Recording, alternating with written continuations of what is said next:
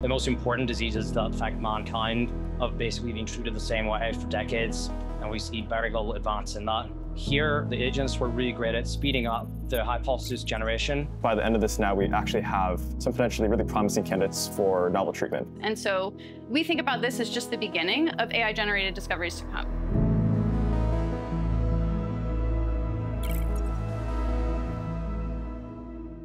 My name is Michaela. Um, for the past year, I've been leading the science team at FutureHouse. And before that, I spent the previous decade uncovering the fundamental principles of how genes turn on in human cells. Hi, I'm Ali. I'm a clinician scientist, and I'm working on building a drug discovery pipeline at FutureHouse. Before this, I was uh, doing my PhD in biotech, um, and then I started a company working on uh, new biomaterials for therapeutics.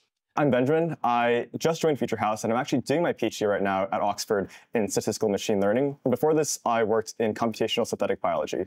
So today we're sitting here in our lab at FutureHouse, and we're here to tell you about progress towards a novel discovery for a therapeutic to treat dry age-related macular degeneration. That we generated using the FutureHouse platform. So to generate novel therapeutic candidates for dry AMD, we created a pipeline connecting three FutureHouse agents. Crow and Falcon are literature review agents, as well as Finch, our prototype data analysis agent. This multi-agent system is the first of its kind to integrate hypothesis generation with data analysis, creating an end-to-end -end therapeutic discovery system. Today, we're talking a lot about dry AMD, but that's because we just had to pick somewhere to start and, and commit to doing experiments in one particular realm. But one thing I want to emphasize is the fact that this system is general purpose and could be used to generate hypotheses to treat any human disease. So let's dive into how the system actually works. First, it selected a therapeutic strategy for treating dry AMD by conducting a wide literature review, synthesizing over 150 papers, and it proposed a variety of experimental strategies to treat dry AMD, and decided to pursue the strategy of enhancing RPE cell phagocytosis because it had a fast iteration time as well as presented a creative approach to treating AMD. After synthesizing over 400 scientific papers and clinical trial reports, the system then generated hypotheses for therapeutic candidates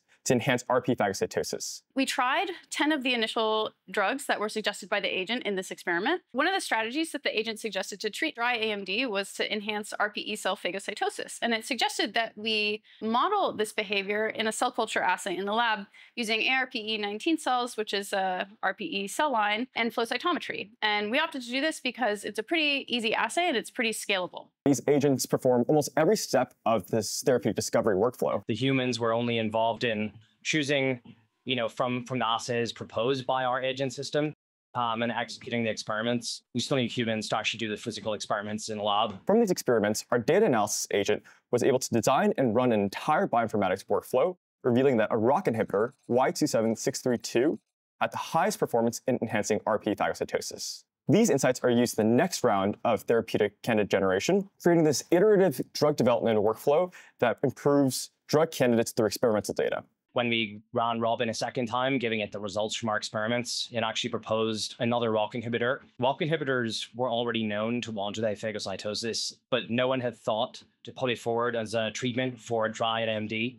And so it's really interesting that it's one of those low-hanging fruit where the science already existed years beforehand, but no one had thought all the facts together in this way.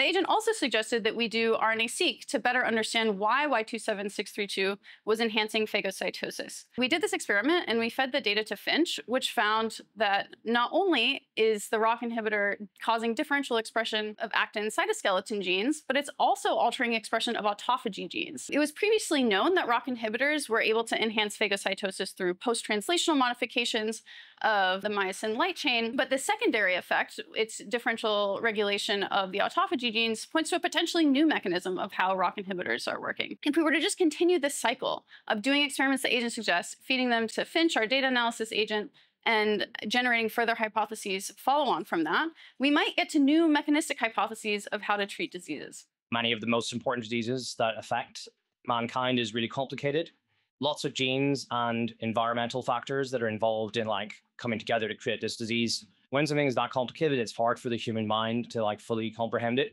But LLMs, which in theory have the entire knowledge of the publicly available biomedical literature, should be able to like generate new novel ideas that humans can't think of. We develop agents that use LLMs to identify new opportunities for therapeutics for dry macular degeneration. One thing I want to emphasize is the fact that all that someone needs to do to run the system is to input a disease. And so while we focus today on dry AMD, the system is general purpose and could be used to generate hypotheses to treat any human disease. When you're running this model, it takes a little bit less than an hour for it to do the entire hypothesis generation. And I get a little bit impatient sometimes when this model is running. But if you think about it, to read hundreds of uh, scientific literature and to go through clinical trial reports, it would take a human days, if not weeks, to go through this. So it's really impressive that I can do this in such a quick amount of time. I think this shows that uh, scientific discovery is kind of a natural domain for artificial intelligence because LLMs can synthesize insights across scientific literature and data at a superhuman level and